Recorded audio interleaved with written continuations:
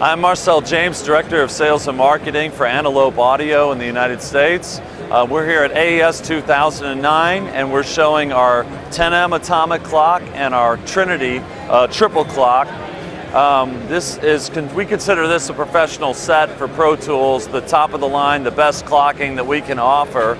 Um, the atomic clock is a rubidium oscillator that overrides the crystal in the Trinity, raising the resolution up to uh, eight days without uh, losing a, a, sync, without losing one sample. So if you had two atomic clocks side by side, they would remain sample accurate for eight days, as opposed to losing a sample a second, which is the resolution of uh, crystal clocking.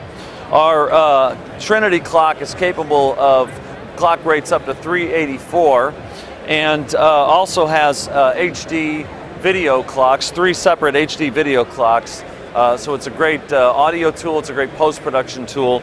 It can also do uh, vari-speed as well, so you can uh, adjust the rates up or down for each clock individually.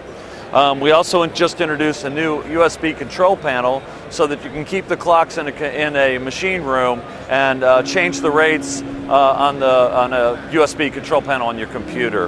Um, the uh, map pricing is uh, $39.95 for Trinity and $59.95 for 10M. And uh, signing off from AES 2009, Antelope Audio.